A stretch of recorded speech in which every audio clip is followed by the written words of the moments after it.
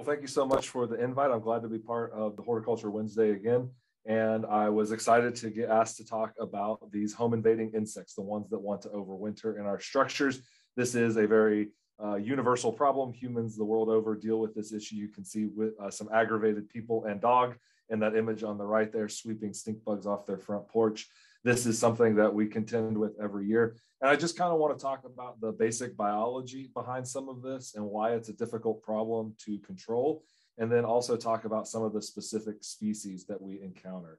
So our homes are very attractive to arthropods. When we're talking about arthropods, we're talking about insects and arachnids and all the myriapods, which include those uh, the, the centipedes and the millipedes, also crustaceans, things like pill bugs, also known as roly-polies. These arthropods, they're just like every other living animal on Earth. They need food, water, shelter, and somewhere where they can lay their eggs. And our homes and our office buildings and our garages offer all of this in quite a bit of abundance in terms of food if we just go to the kitchen, you've got garbage that's usually sitting there. That's an available food resource. We'll have crumbs that are hiding behind our ovens and our refrigerators. If you've got a small child like me at home, there's also crumbs basically all throughout the house as they trail animal crackers everywhere.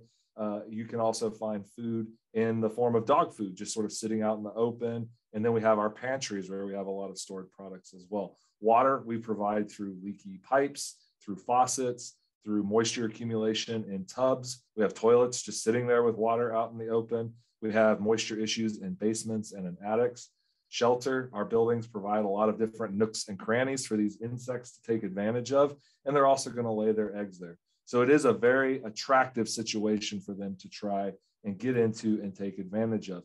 Research from North Carolina State has actually shown that human dwellings and human buildings typically have about 100 species of arthropods that live inside of them.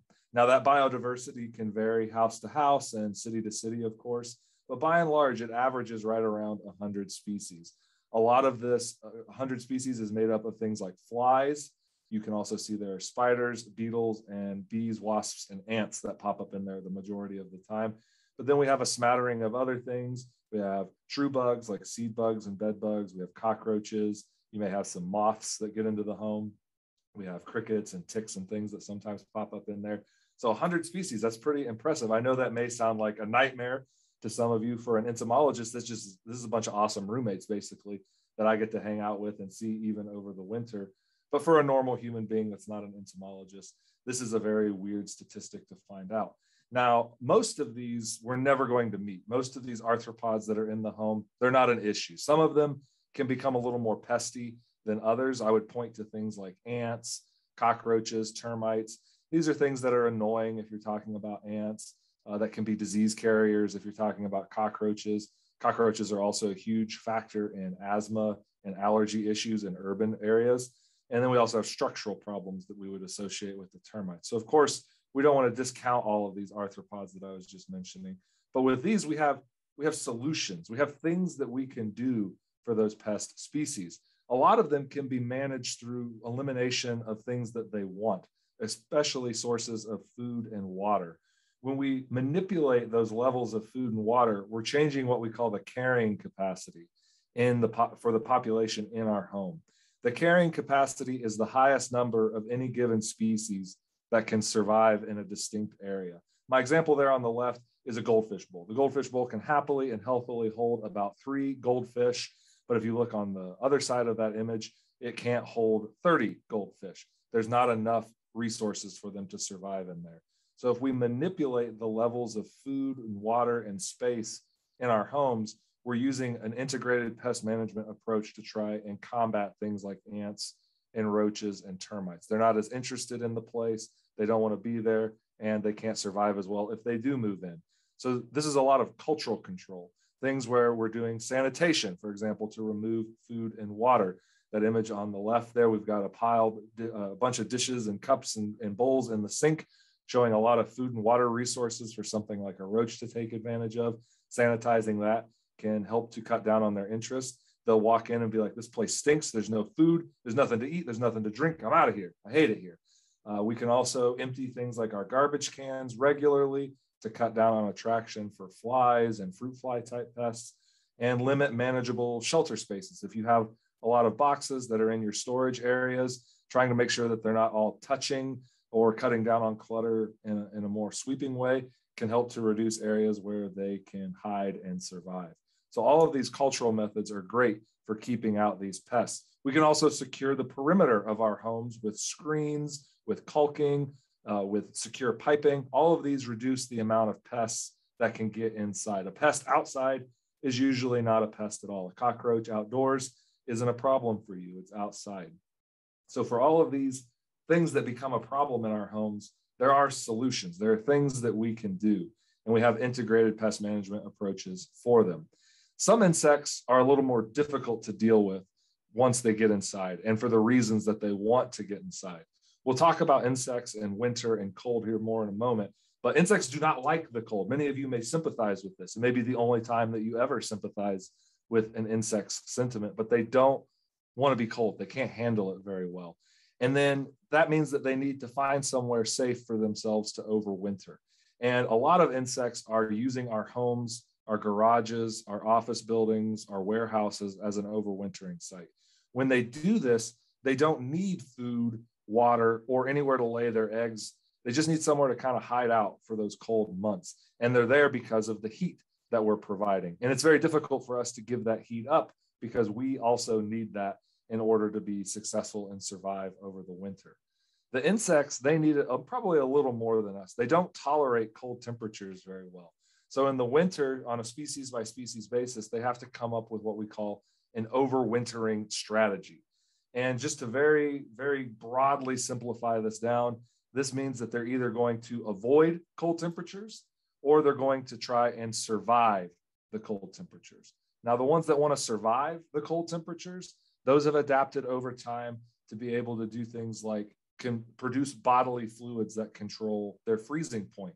A famous example is the woolly bear caterpillar, seen here on the left, famous harbinger of fall, something that we uh, have folk tales about predicting the weather. I think what's very interesting about them is that they don't actually can predict the weather for us over the winter. Uh, we have data sets on this that you can't predict how cold the winter is going to be with them. But they themselves are able to produce antifreeze inside their bodies in order to lower their freezing point. So instead of freezing at 32 degrees Fahrenheit, they can get themselves all the way down to zero and they're able to avoid freezing to death in the winter. Others can, uh, other species of insects can uh, control where the ice crystals form in their body. So they force them to grow in their fat bodies or in other water based areas. And they avoid getting ice crystals on their brains, on their hearts, or in their digestive tract. And so they're able to survive having ice crystals form in them by being able to control where they actually pop up. A very fascinating way of going about this. For other species, though, they just they don't want to be around it. They don't want to be around the cold, and they're going to migrate as far away as possible as they can from cold temperatures. They're just like the snowbirds that live in Kentucky. They go to Arizona, they go to Florida, they're like, to heck with this, I'm out of here. And they go anywhere else that they can. A famous example of this is the monarch. We're seeing this right now. The monarchs are migrating from our northern portions of the United States down through Kentucky and other southern states to get down to Mexico, where they will spend the winter. It's more tropical there. They're able to survive. They don't stick around for these cold temperatures that are about to arrive in our state. Others will actually sort of migrate locally. Instead of leaving the entire country, they will stick around, but they're trying to find somewhere where they can get a warm spot. Basically, this is going to turn into using natural things that they can use to put something between them and the air temperature. We get a lot of questions on this every year about oh, it was this cold this day in the winter. Surely that froze all the insects. And it's important to note that just because the air temperature in a certain area maybe is two degrees, that doesn't mean that down in the soil litter, uh, the leaf litter on the soil, down in the dirt, inside of trees, in these places where the insects have found to hide, it's usually a little bit warmer there, maybe five to 10 degrees warmer, depending on the substrate. And so they're avoiding those cold air temperatures and they're able to survive. Some examples of this would include using the soil with white grubs. White grubs will burrow down below the frost line in the soil, and that's why they're able to survive over winter to pupate and become adult Japanese beetles or May beetles the next year. We also see them use leaf litter. We have some lady beetles doing that in the center image here. Some use logs. Some insects even construct a harborage to help them accomplish this or to protect their offspring. Bagworms, the female and the males, they both produce these bags over their caterpillar bodies. The female never actually leaves her bag. So she stays in there her entire life, and her eggs are hidden in there with her. She perishes in the autumn, but that bag is still there to protect her eggs. And they those bags keep those eggs safe up to, I want to say, about negative five, negative eight degrees. Uh, they're, they're still not going to freeze if the air temperature is that because the bag is nice and toasty on the inside. So it's kind of an amazing way of sneaking around and doing this to avoid those cold temperatures. The problem has become that our homes and our buildings can mimic and in some cases even supplant some of these natural overwintering sites. A lot of insects, like I mentioned, they want to use the soil or leaf litter. Some of them use rock faces or logs, and our homes can look sort of similar to this. There are other things about our homes that are very attractive. They can sense the heat. You've heard about uh, the, the heat leaching out of your home and having all these energy problems uh, for the last few years. This is something that insects can actually detect. They can be like, oh, it's, it's very warm in that direction. I think I'm going to crawl that way towards that deluxe heated log that looks really nice. And that's what I'm going to use for the winter.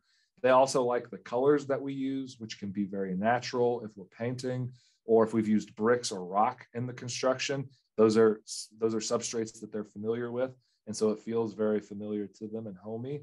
We also like south and western exposures on our homes for beauty's sake, but insects like south and western exposures for the heat that is produced from the sun on those surfaces.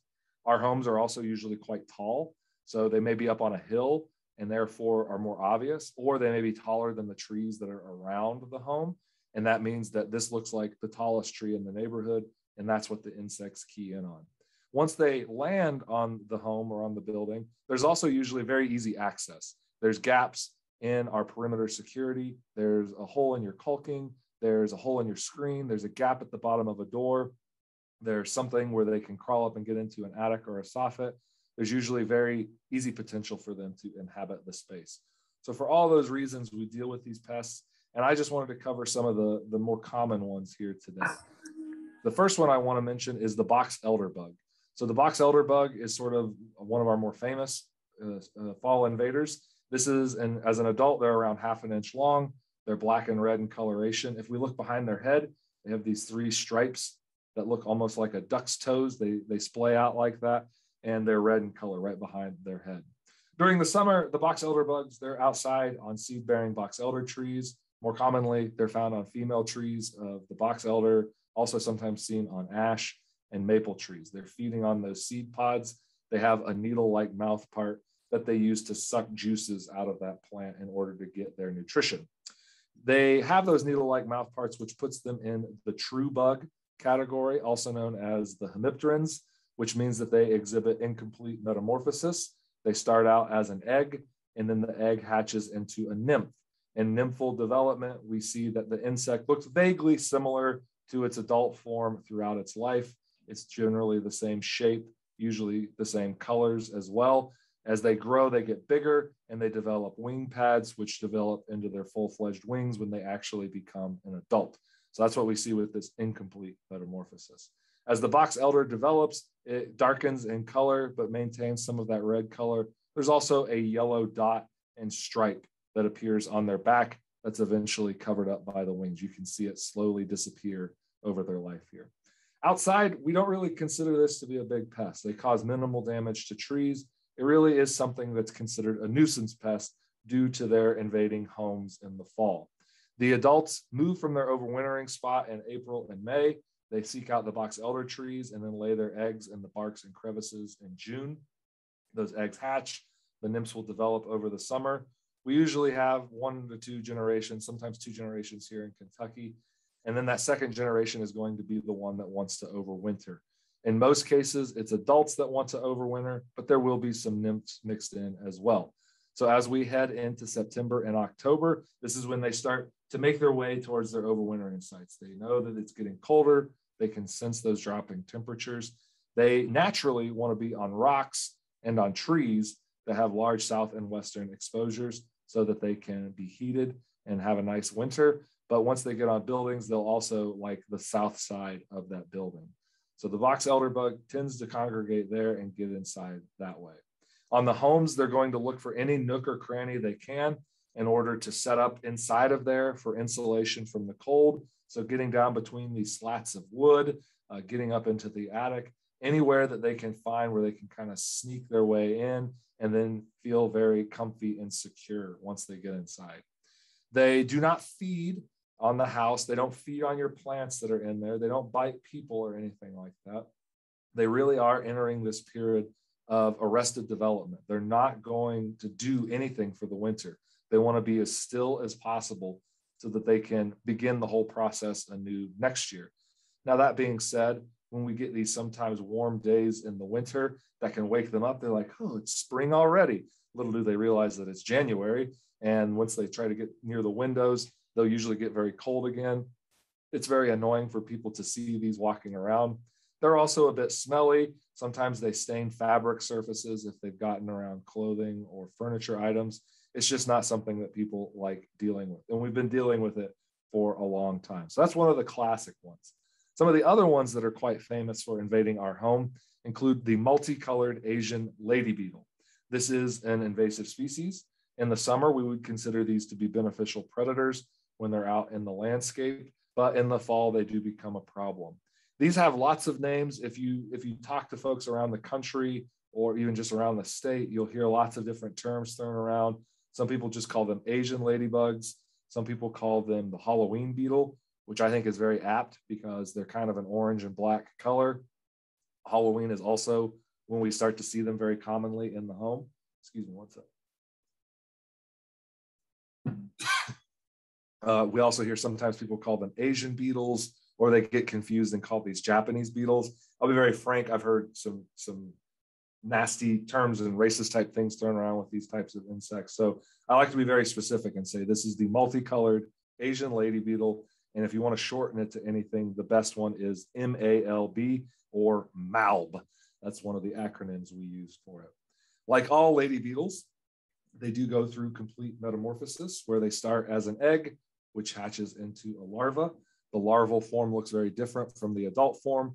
They will pupate and then become the adult. We see this type of development with beetles, with moths and butterflies, as well as with bees and wasps.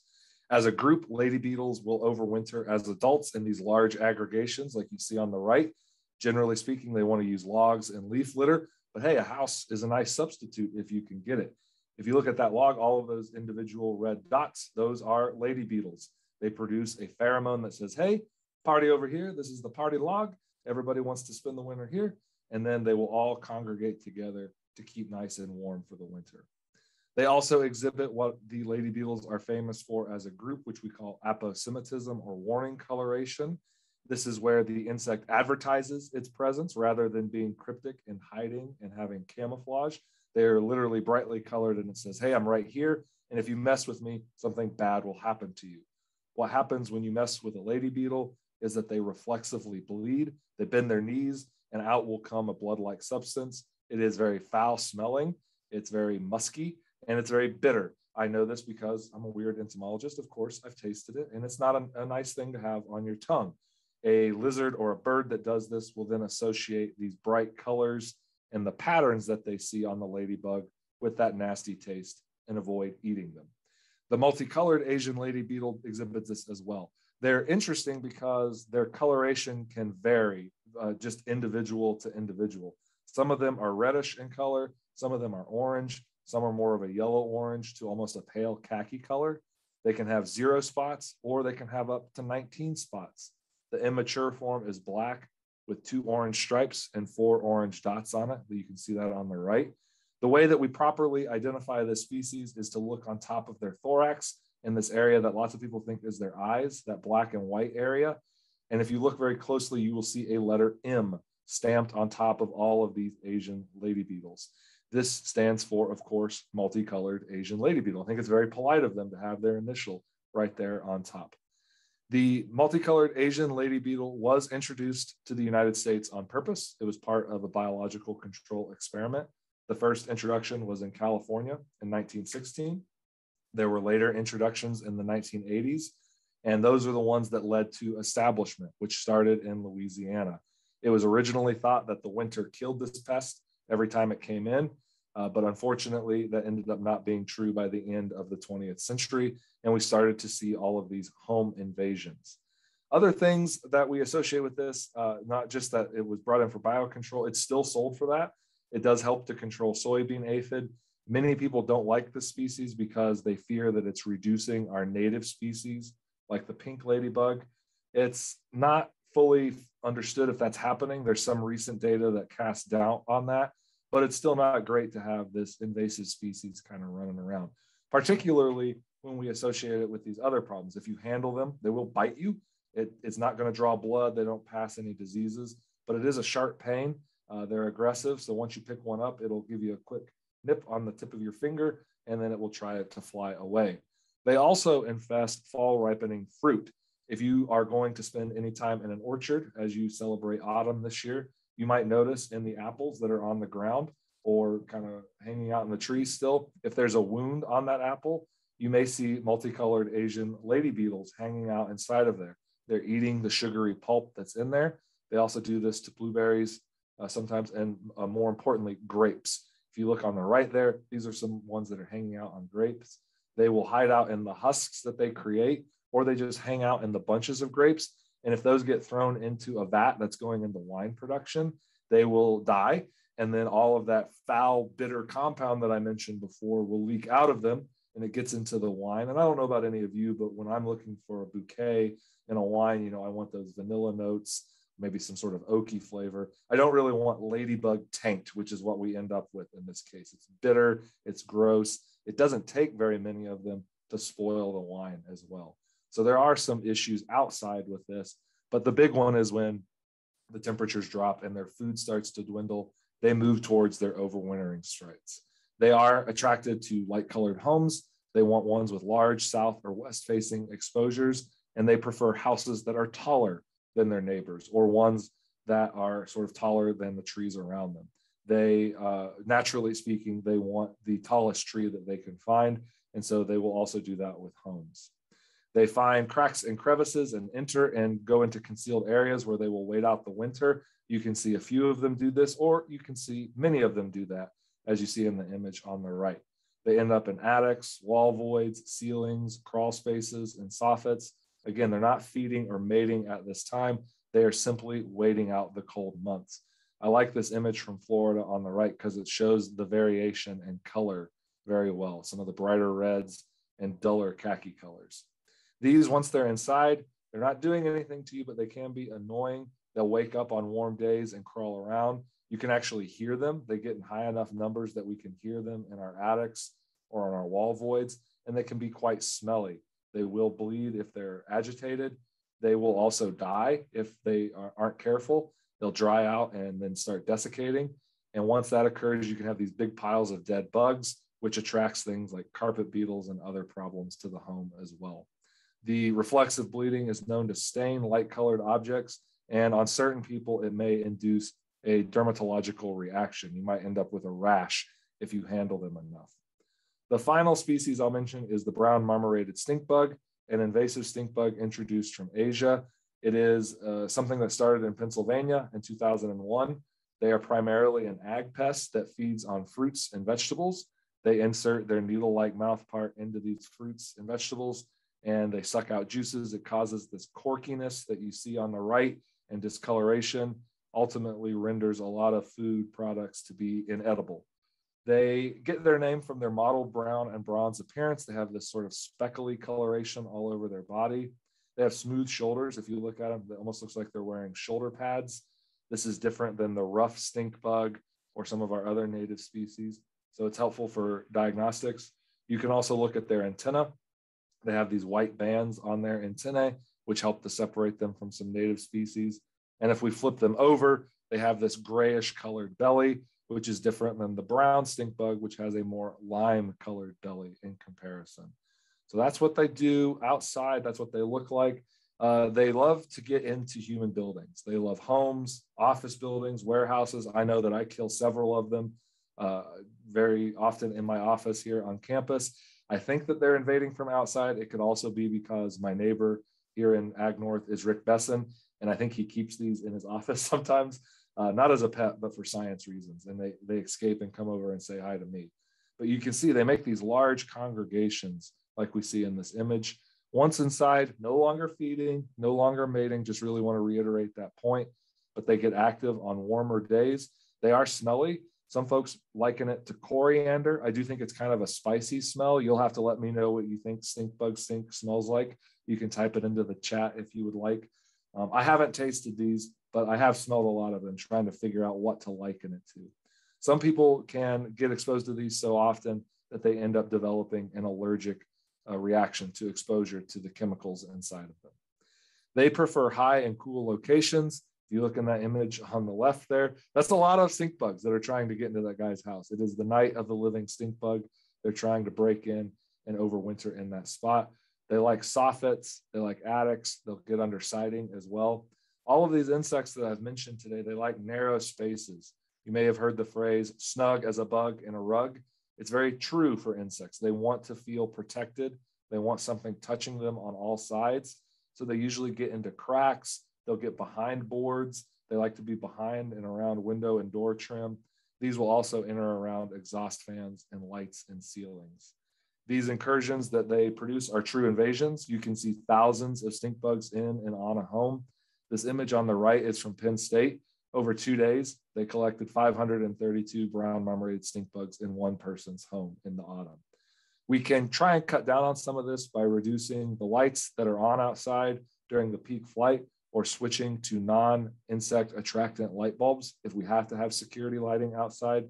But this will cut down on the amount of these stink bugs that want to move in. You can see how attracted they are to lights there on the left. The other things that I would promote when we're dealing with these overwintering pests is that prevention is your greatest defense. You have to go out and secure the perimeter. This means going around and installing weather stripping around doors and windows, reduce or replacing the rubber seals that are along the bottoms of your garage doors and your house doors, checking screens, fixing caulking gaps using these caulking solutions that you see here. Think of yourself like the kid in Home Alone. You want to set as many things between you and the bugs so that they can't get inside and bother you. I wouldn't recommend blow torches and all the things that he used in this movie, but all of the different things that I was just highlighting, screens and caulking, these are helpful prevention tips. Insecticides always come up. Sometimes it is warranted if you deal with this problem every year, if you're the house that they like best because you're the tallest or the most natural looking, uh, then you can get somebody to treat for you. We like to promote that a professional come in and be the one that make these applications. Other times people really, really, really want to do this on their own. And the most often used product for that is Ortho Home Defense, which is a bifenthrin insecticide. These products, they can only be used in a very specific way. You can't just simply go out and spray the entire exterior of a home. Home defense in particular can only go three feet up from the foundation and one foot out into the landscape. You can go around the whole home and do that on all of it that you can reach, but you can't just go and spray the entire wall. You can also treat around the windows and you can spot treat on eaves and on soffits, but you can't just treat the entire roof of your house either. This is one reason we like to try and get professionals promoted because they know those rules and regulations as licensed folks. The other thing is that people will see these groups of bugs sort of hanging out on their house, which is the precursor to them wanting to be in the house, and they want to spray them with something. So one thing that I think it's very efficient to promote and easy and economical for people is to just spray them with soapy water. If you see a group of lady beetles hanging out on your siding, if you see a group of stink bugs buzzing around your light bulbs or around your window, then just mix together a little bit of dish soap and water in a spritz bottle, a backpack sprayer if you got it, and spray that grouping of them. The soap destroys parts of their body, they quickly perish. It works against a whole host of insects there's a low stain hazard and low toxicity issues for the environment by using this. It is a good alternative to using something like home defense. Indoors, also, we have to think about insecticides. People often want to spray inside, but the best thing to do once you see them inside is simply vacuuming them up or sweeping them up with a broom. Remove those bugs, dump them out outside. Uh, if you want, you can dump them in a bucket of soapy water to kill them. But usually, once you get them bagged up, or in the canister of the vacuum cleaner, you can just dump it into a trash can or somewhere outside and get rid of them. If they do accumulate indoors, they can attract cluster flies and carpet beetles and other problems. So we definitely want to get them out. Indoor insecticide applications are not going to help. These things are contact based, so the insect has to crawl through it. And these insects aren't really crawling. Otherwise, you have to get it right on top of them. So you have to crawl into your attic or get into a wall void in order to make the application. Some people try to get around this by using a bug bomb. Bug bombs very rarely work for anything. We don't normally advocate for them in extension for anything. And in particular with this, you would be releasing high amounts of pesticide residues. They would drift into areas of human habitation, exposing the people that live in the home. They also rarely work. They're also pressurized, so they can almost be explosive if used incorrectly. So we do want to be very cognizant of that when we're making our recommendations to folks. Limit the amount of insecticides they're putting out, use these preventative measures and cultural sanitation practices once the pests are inside. With that, I appreciate the invite to be with you here today.